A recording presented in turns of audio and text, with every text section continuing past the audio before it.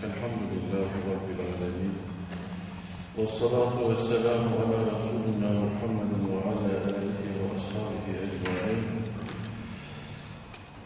أستغفر الله العظيم وأتوب إليه. أشهد أن لا إله إلا الله وحده لا شريك له وأشهد أن محمدا عبده ورسوله. اللهم صل على محمد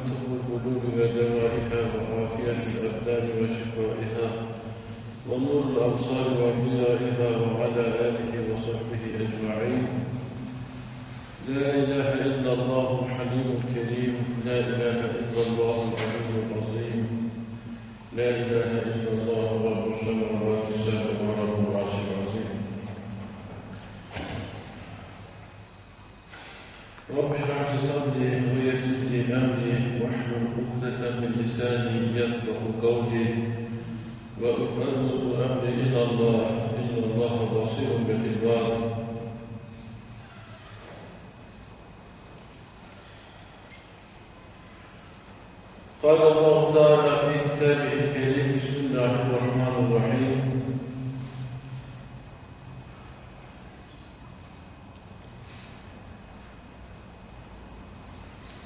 ألهاكم التكاثر حتى زرتم المقابر.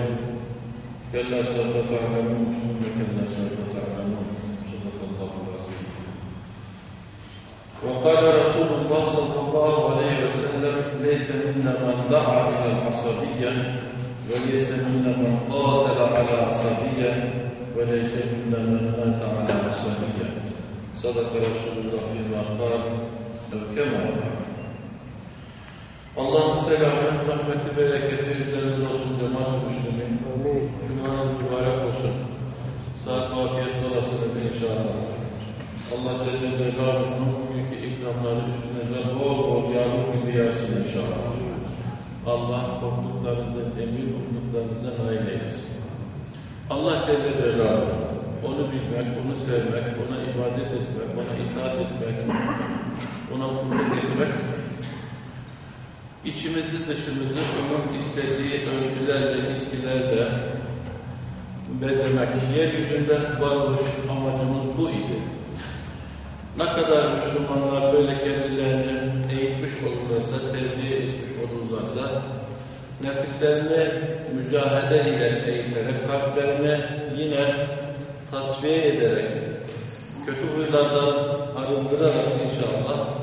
Allah Celle Celaluhu'nun nazarına, tecellisine, ziyaretine açık hale getirebilirlerse Allah'ın bir sevgili kulu olurlar ve o toplum merhamet toplumu olur. O toplum Allah'ın kullarına, Allah'ın kullarıyla beraber hatta diğer mahlukatına yani hayvanlara, bitkilere, sulara, taşlara, toprağa merhamet eder bu toplum bir merhamet toplumudur. Orada kötülük olmaz. Orada cana kıyılmaz. Orada mallar yağmalanmaz, hırsızlanmaz. Gizli açık hile ve desiseyle haram oradan mallar gelmez. Orada insanlar kızdırılmaz, öfkelendirilmez, gücendirilmez, küstürülmez, kalbi kırılmaz. Orada herkes birbirine nasıl ikram edeceğim diye şaşırır. Böylesine bir hayat dünyamızı cennete çevirir. Allah Celle Celaluhu'yu sevmeye ve ona ibadet etmeye ayarlanmış bir hayatın dünyadaki bize sağlayacağı da işte budur. Allah muhafaza buyursun. Bu yüreklerden Allah sevgisi, saygısı kalkmış olsa, Allah korkusu kalkmış olsa, herkes kendi nefsini bir tanrı ilah edinse, herkes nefsine, keyfine, hevasına, şehvetlerine tapsa, herkes herkesin dedikleri gibi kurdu olsa, insan insanın gerçekten kurdu olur ve Akif bin Beşir'in de dediği gibi sırtlanları beş, geçer beşeriyet hocalıkta. İşsiz mi bir insan, onu kardeşleri yer. Böylesine bir vahşet toplumu haline gelir. Ne sayesinde? İmansızlık sayesinde. Allah'ı bilmeme, dini tanımama, şeriatı tanımama, Hz. Muhammed sallallahu aleyhi ve sellemi rehber, önder, lider, üsve-i hasene bilmeme. Sebebi, cehalet sebebi. Bu aslında da cahiliye denir. Orada yürürlükte olan sistemlerin, ilkelerin, ideolojilerin, yönetim biçimlerinin, yöntemlerin adı ne olursa olsun o toplum bir cahiliye toplumudur. Değerli kardeşlerim, geçen hafta da uzun uzun anlatmıştık, böyle bir mukaddimeyle geldik.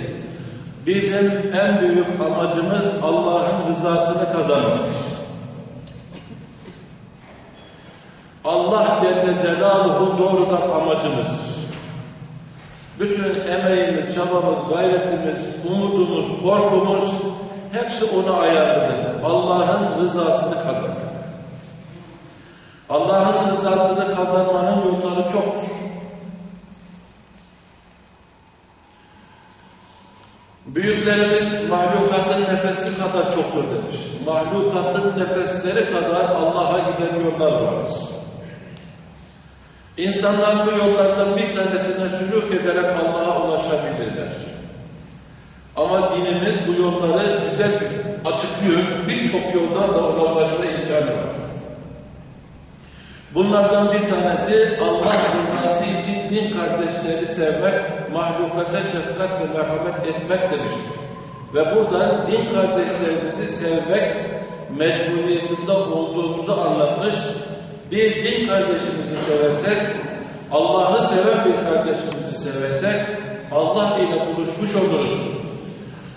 Allah'ı iman ederek sevmiş, ona kulluk yapmış bir kardeşimizi sıkıntılarından giderirsek, yardımcısı olursak, aç ise doyurursak, çıplak ise giydirirsek, hasta ise ziyaret etsek, sanki biz Allah haşa noksan sıfatlardan münezzehtir, hasta olmaz ama olmuş da onu ziyarete gitmiş gibi Allah'ı memnun ederiz.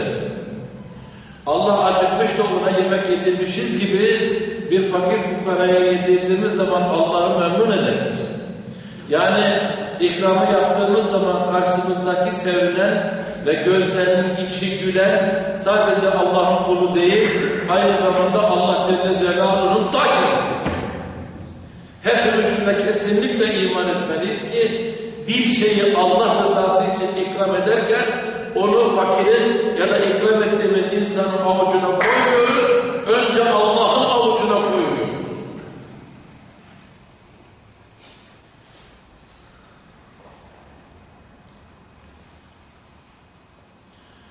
Bu yüzden nasıl ki sevdiğimiz, değer verdiğimiz bir insana bir hediye hazırlarken nasıl bir hediye hazırlamalıyım? Onun şanına, şerefine, sevgisine layık bir hediye diye düşünüyorsak bunu herkes için düşünmemiz lazım. Neden? Çünkü yaptığımız iyilikler, sadakalar, hediyeler, ikramlar yaptığımız insanın elinden evvel Allah Celle Celaluhu'nun avucuna konmaktadır.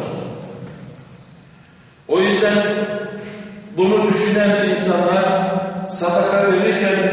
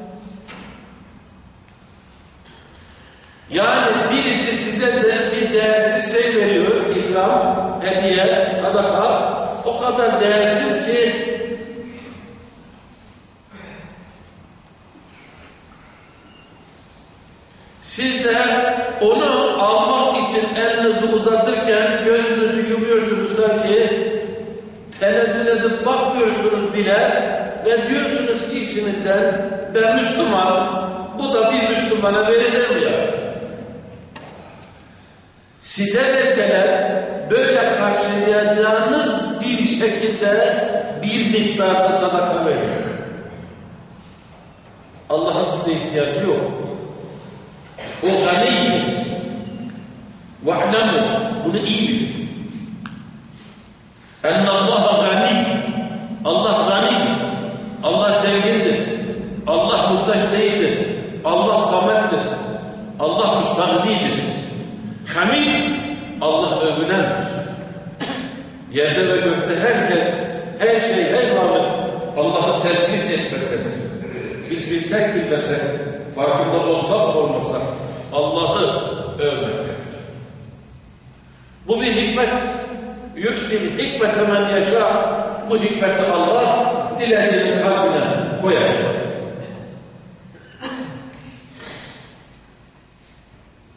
Ve men yü'tel hikme kimin de kalbine koymuşsa bu hikmeti fakat bu diye hayret ketira o adama çok büyük hayır ihsan edilmiş, verilmiştir. وَمَا يَذَّكَّرُ اِلَّا اُلُوا الْاَلْبَابِ Bunu da ancak akıl sahipleri anlar, düşünür. Bu okuduğum ayet-i kerimeler Bakara suresi 267'den aşağıya doğru olan ayetler. Allah'ın rızasını kazanma hassasiyeti. Demek ki kardeşlerimize yaptığımız yardımlar, iyilikler bizi Allah'a götürür. Kardeşimizi Allah rızası sevmek bizi Allah'a götürür. Allah için birbirini sevenleri Allah da sever. Allah için bir kardeşini ziyarete gidene Allah 70 bin melek gönderir. Ortasında törenle gönderir. Allah rızası için birbirini sevenleri arş-ı alanın gölgesinde gölgelenir. O gün o gölgeden başka gölge yoktur. Allah rızası için sevenlere Allah'ın sevgisi hak olmuştur. Cennet vacip olmuştur biiznillahü teala. Hatta Allah bunu bilsinler için bir mahalleden başka bir mahalleye, bir köyden başka bir köye kardeşini ziyarete giden adama insan kılığında melek göndermiş, bu ziyaretin sebebini sordurmuş, ticaret midir, silah mıdır, başka bir menfaat mıdır? Hayır sadece bir kardeşimi ziyaret ettim Allah rızası için deyince işte ben de hakikati açığa vuruyorum. Beni gönderen Allah'tır, sana da selamım vardır. Benim için sevişenlere rızam, hoşnutluğum, sevgim ve cennetim hak olmuştur diyor. Allah rızası için Müslümanların birbirini sevmesi, sayması, hürmet etmesi, incitmemesi,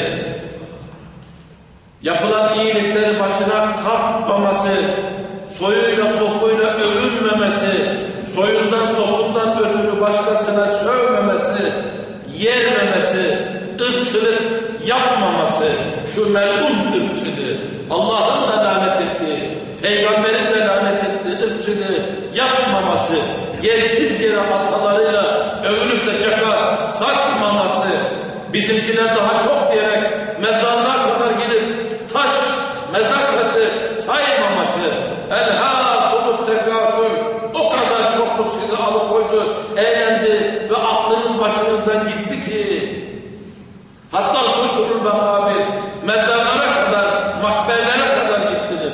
Şu da bizden, şu da bizden, şu da bizden. Tarih kitapları bunun için okunmaz. Tarih kitapları bu da bizden, bu da bizden, bu da bizden desin. Bunun için okunmaz. Tarih kitapları ibret almak için. Ecdadımız salih insanlarsa ne mutlu bizlere, ne mutlu onlara. Mükafatlarını bol bol görecekler inşallah. Bu bizim şımarmamamız, bu bizim onlarla övünmemiz ırkçılığa sebep olmamalı. Allah'a şükretmeliyiz. Atalarımız kötü şey yapmışlarsa cezasını onlar çekecek bizi ilgilendirmez. Atalara övünürken bile ırkçılıktan korkmak lazım. Bunu diğer kardeşlerle aramıza bir perde olarak gelmemek lazım. Irkçılık, tefrikayı, düşmanlığı, adaletsizliği, kini, nefreti, parçalanmayı gerektiren melun bir düşüncedir. İslam kardeşliğinde de tamamen aykırı bir düşüncedir. Onun için biz Türk'üz, Kürdüz, Arap'ız, neysek biz kendimizi seçmedik. Anamızın karnından dilekçe vermedik. Hiç kimse Maraş'ta doğacağım diye dilekçe vermedi. Hiç kimse boyun şu olsun, elim bu olsun, gözüm şu renkte, kaşım şu renkte olsun, saçım bu renkte olsun diye anasının karnında dilekçe vermedi. İnsanlar ırklarını, soylarını, sülalelerini,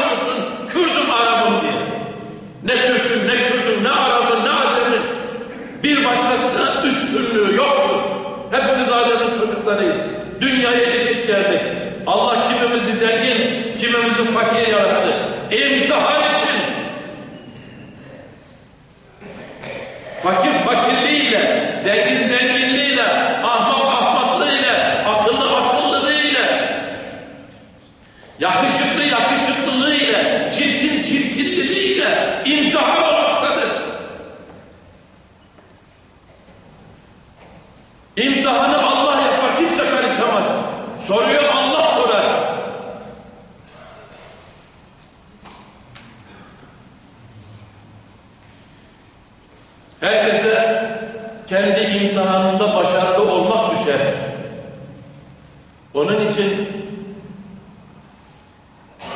dini anlamadan insan olmak mümkün değil. Bir iki noktada olunsa bile bütün bütün bir kamil insan olmak mümkün değil.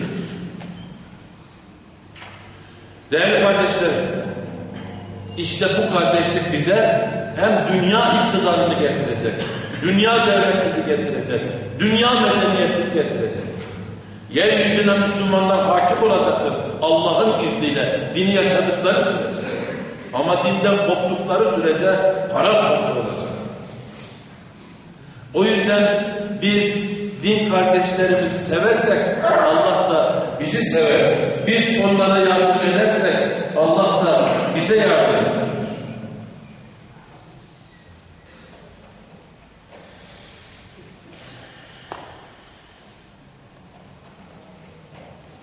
Geçen haftaki dersimizde bu hakikatleri hadis-i şeriflerle anlatmış hatırlarsanız.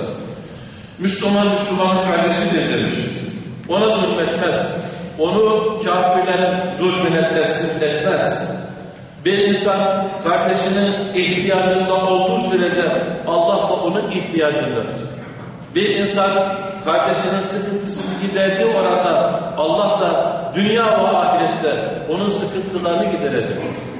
Bir insan kardeşinin yardımcısı olduğu sürece Allah da onun yardımcısı olacaktır. Bu hadisi sen okumuş. Bir kardeşinin ihtiyacını giderenin Allah da ihtiyaçlarını giderecektir. Yani kul kardeşlerinin yardımında, derdinde, tasasında olduğu sürece Allah Celle Celaluhu da onun yardımındadır, onun hakkında iyilik düşünecektir. Biz muhtaç olsaydık giderilmesini isterdik kardeşlerimiz tarafından ihtiyacımız.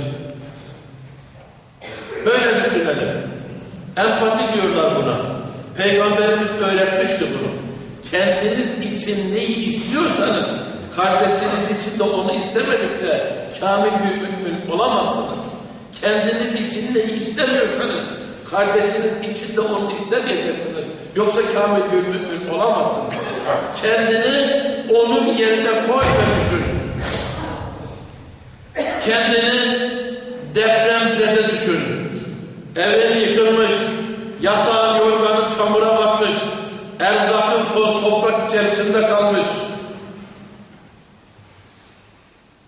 Allah bir imtihan vermiş böyle kalıvermişsin. Annen, baban ya da yavrun bunlar, bunlardan birisi belki de ölmüş. Geri kalan bir çadıra girmişsiniz. Ne beklersiniz? İstemek çok zor. Dilenmek çok zor.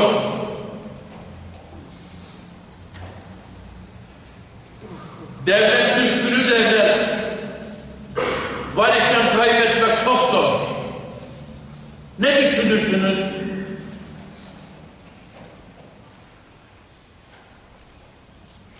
Kardeşlerim dersiniz. Kardeşlerim var dersiniz. Boynunuzu büker, Allah'tan istersiniz.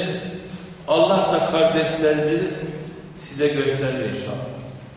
Kendinizi onların yerine koyunuz. Adamın evi yanmış. Kül olmuş.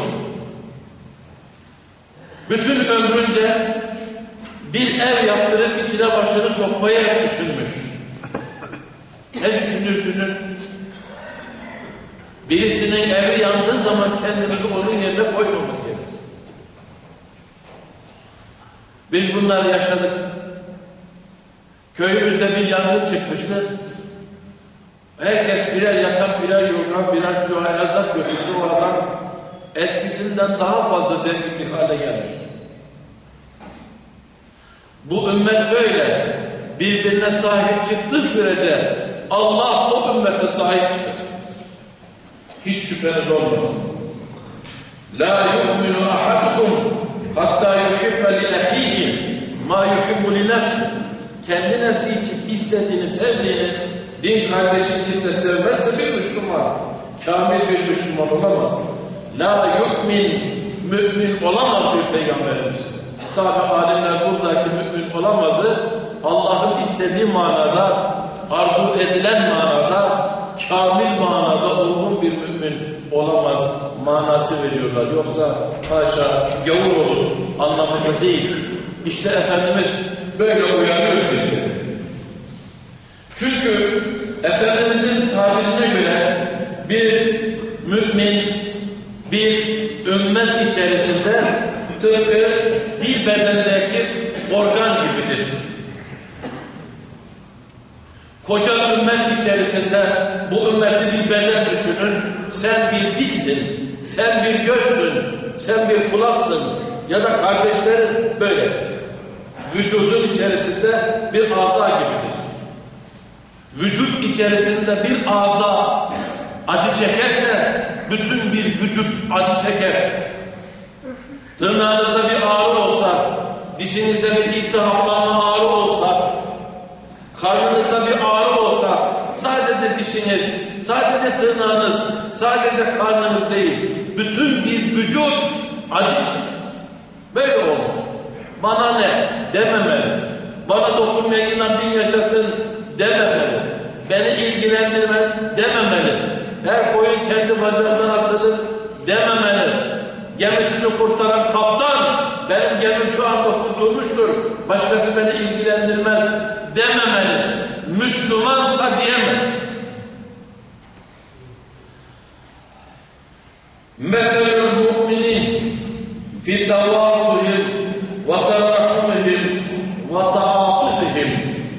Müslümanlar birbirini sevmede, birbirlerine acıyıp merhamet etmede, birbirlerine şefkat edip esirgemede tıpkı meselül ceset, ceset gibidirler.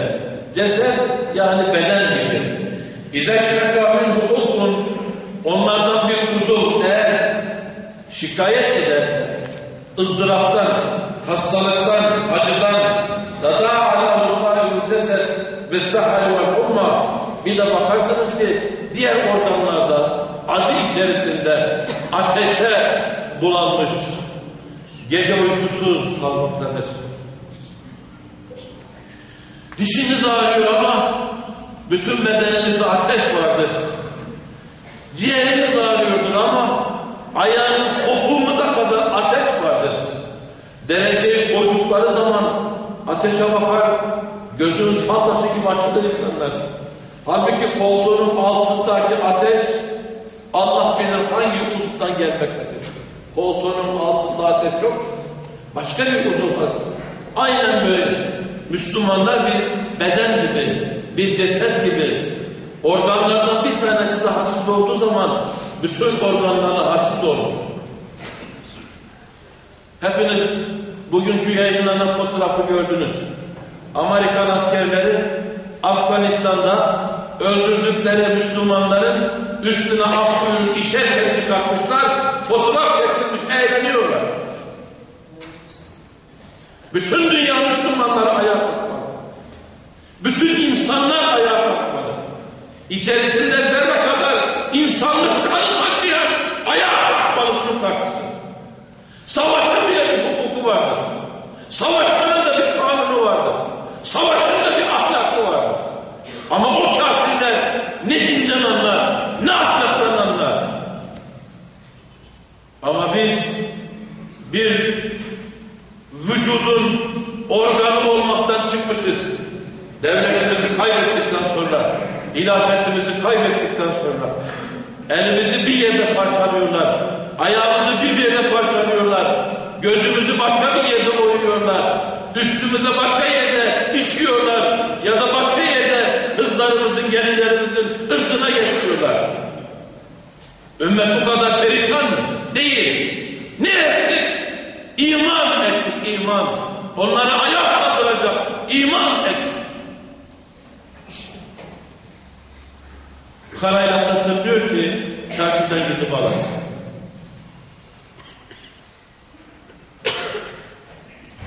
Kendi mahallemizde bunca pislik varken nasıl başımızı kaldırıp da oralara bakalım hocam diyorsunuz. O da ayrı bir dağ. O da ayrı bir dağ. Ama hakikat budur.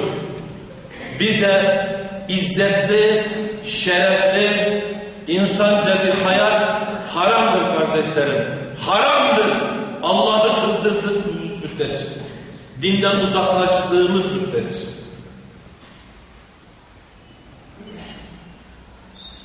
Oysa müminlerin kalbi birbirleri çarpsaydı Allah severdi diye geçen hafta ve bugünkü girişte uzun uzun anlattı. İşte buna bir delil. قال الله Azze ve Celle bir hadis-i kutsi. Sevgili peygamberimizin dilinden bir hadis-i kutsiden Allah Celle Celaluhu beyan Allah buyuruyor. Ama Kur'an'da değil hadiste peygamberimizin ağzından hakkat muhabbeti benim muhabbetim sevgim hak olmuştur gerçekleşmiştir. Lil mutahabbine diye benim rızam için sevişenler. Yani adamın anası, babası, akrabası değil. Konuşu komşusu değil. Birbirine oturmuş da peynir ekmek yedirmişler değil. Sadece mümin oldukları için birbirlerini sevmektedirler. İşte o birbirini din kardeşliği yüzünden seven insanlara benim sevgim muhabbattır. Şeksiz ve şüphesiz. Hakkat. Bir hakikat olmuş. Ve mütezabili netice. Benim hakkımda ziyaretleşenlere, benim rızam için, değerli kardeşlerim, Allah rızası için ziyaret. Ama bir gerçek var. Peygamberimiz Efendimiz Aleyhisselatü Vesselam kendisine gelen ziyaretleri mukabele ederdi. Yani kendisi de ziyarete giderek karşılardı. Bazı insanlar kendilerini Beytullah zannediyorlar. Siz ona üç kere gidersiniz, beş kere gidersiniz, on beş kere gidersiniz. O size bir kere gelmez. Ve siz de o sanırsınız. Alakayı kesersiniz. Sebebi o olabilir. Peygamberimizin sünnetini terk ettiği için o suçlu da olabilir. Ama ben size bir şey söyleyeceğim. Önce kendi nefsime sonra size söyleyeceğim. 15 kere de gitti gelmedi. Eğer Allah rızası için gidiyorsan gene gitmen gerek. Yok kendi rızan için karşılıklı bir sevgi çıkarım için gidiyorsan gitmeyebilirsin. Neden? Oradan bir menfaat gelmiyor. Sen gidiyorsun o gelmiyor, sen gidiyorsun o gelmiyor. Gelmiyor kardeşim. Oradan sana bir menfaat, bir çıkar gelmiyor. Eğer bunun için gidiyorsan gitmeyebilirsin.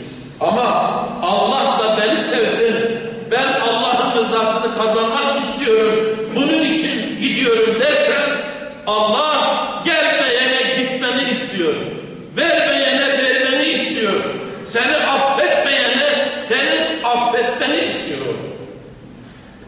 Şimdi sen beni Allah ilgilendirir. Benim derdim Allah'tır. Benim amacım Allah'ın rızasını kazanmaktır. Benim aradığım budur diyorsan gene gideceksin. Gene gideceksin. Gelmese de gideceksin. Gelmese de gideceksin. Eğer gittiğin zaman fitne ve fesada sebep olmuyorsa gene gideceksin. Allah rızası için ziyaretleşmek ve mütevaddine fiyye ve mutasaladdine fiyye hayırlı işlerden, sadakalarda hep Allah Celle Celaluhu'nun rızasını gözeten insanlara hakkat muhabbeti, muhabbetin gerçekleşmiş, hak olmuştur diyor Peygamberimiz. Efendimiz Aleyhisselatü Vesselam. O yüzden Müslüman yaptığını Allah'ın rızası için yapar. Biz buna ihlas diyoruz. Değerli kardeşlerim, ameller niyetlere göredir. İnnemel a'malu bin niyyat. Ameller niyetlere göre değerlendirilir. Sadaka veriyorsun ne kadar güzel bir şey. Eğer Allah rızası içinse Allah bunu kabul etti, senden razı oldu. Eğer aynı sadakayı Allah rızası için değil veya onunla beraber insanlar beni sevsin, cömert adam desinler, bana saygı ve sevgi duysunlar diye yapıyorsan hiçbir sevap alamazsın. Belki de günah alırsın. Çünkü buna riyakarlık denir. Çirkin, kötü bir huydur. Allah bunu yasaklamış. Eğer sadaka ya da iyilik yaparken sadece Allah'ın rızasını kastetmen gerekirken başka birisini de işin içerisine sokuyorsan Allah'a ortak koşmuş olursun. Müşrik gibi olursun yani. Ne billah. Bunun bir vebali de var. Bu çok önemli bir husus. Başka bir örnek vereyim. Amerika'nın o kafir askeri de vatanını sever. İsrail'in askeri de vatanını sever. Rus'un, Çin'in askeri de vatanını sever. Vatanına birisi saldırdığı zaman onunla savaşır ve onu def etmeye çalışır. Müslüman bir ülkenin ordusu da vatanını sever ve vatanına birisi saldırdığı zaman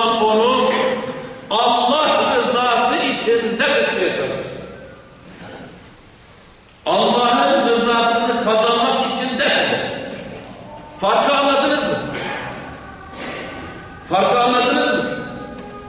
Yunan'ın askeri de vatan için çalışır. Ve ödülünü alır dünyada.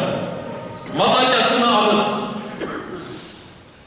Özgür yaşayarak karşılığını alır. Almanın askeri de vatan için çarpışır. Ama Müslümanın askeri Allah bunu emrettiği için Allah için savaşır.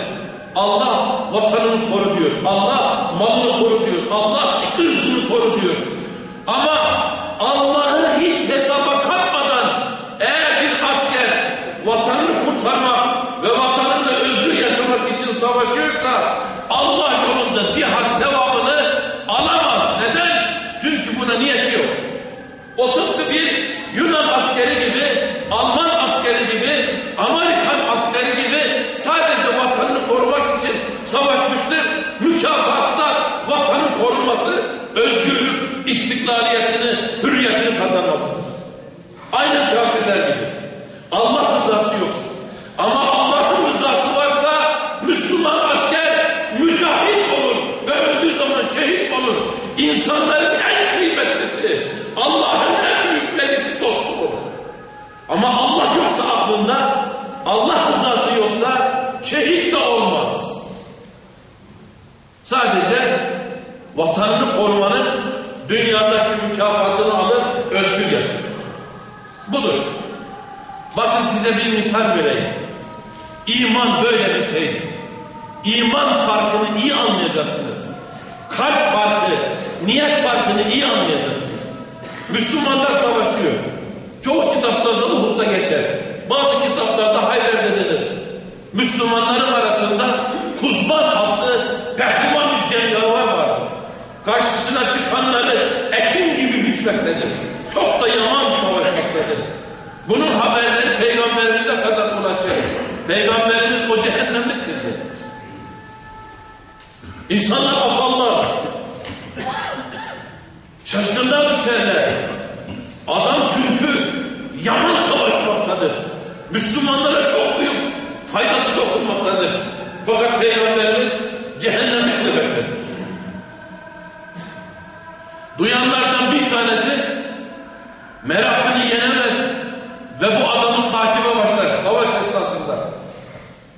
Nihayet adam üzerine bir bölük düşman askerinin saldırmasıyla orasından burasından yaralanır, takatı kesilir ve yere düşer. Düşman oradan savaştığı zaman bu Müslüman asker onun yanına yaklaşır ve der ki Allah yolunda cihadın sana mübarek olsun. Çok yaman savaştın der. Adam başını kaldırır. Gözlerini açar ve der ki ben Allah yolunda cihat etmedim kardeşim. Ben Medine'deki hurmalıklarımı düşmandan korumak için savaştım. O zaman peygamberimin sözünü anlar ve sen peygambersin ya Resulallah desin. Nihayet adam parçalanmış cesedinin acılarına dayanamaz. Kılıcını, kabzasını yere kumal batırır ve ucunu göğsünün üstüne kalbine getirerek yüklenir ve intihar eder. İman kalpte Allah rızası olmazsa Medine'nin hurmalıkları için savaşırsa bir insan sırf vatan düşüncesi olur. Başka bir düşünce olmazsa vatan, vatandır.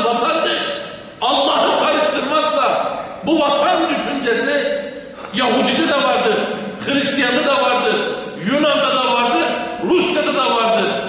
Müslümanın askeri bunun ötesinde Allah rızasını amaçlayarak savaşırsa onunki cihattır. Ölürse de şehittir. O zaman farklı olur. Her şey kalp, her şey iman. Ne diyoruz? İnnemal a'malu bin niyyat ameller niyetlere göredir. Ve bizim yaptığımız yardımlar da o zaman vatana yardım olur. Vatandaşa yardım olur. Ama bizim maksadımız Allah rızasını kazanmak. Depremzedeye depremzededir insanlık için yardım etmek başkadır. Allah emrettiği için Allah'ın rızasını kazanmak için yardım etmek başkadır. Bunu sen yaparsın. Ama felakete uğramış bir insana yardımı Amerika'dan da gönderiyorlar. Senin amelinle Amerika'dan gelen arasındaki fark nedir? Senin kalbinde Allah'a iman niyeti vardır. Niyet olmazsa hiçbir şey olmaz. Niyet etmeden biraz sonra cuma namazını kılın bakalım. Yatıp kalkmış olursunuz. Hiçbir kıymeti yok. Hiçbir kıymeti yok. Ama ne zaman imamla beraber Ya Rabbi senin rızanı kazanmak için cuma namazının farzını kılmaya niyet ettim.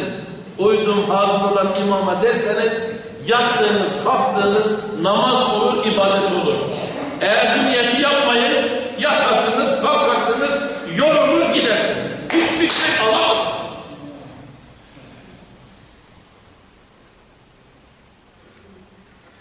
Ve Müslümanlıkta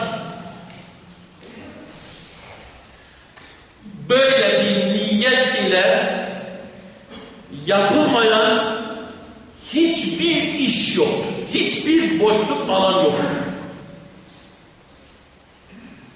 Müslüman yaşadığı hayatın tamamını niyetle Allah'ın rızasını kazanmak için yapar. Fark budur. Bu kalbe, bu niyete, bu Allah için sevişmeye çok ihtiyacımız olduğu için önümüzdeki haftada Allah ömür verir, izin verirse devam edeceğiz inşallah. Lillahi Fatiha.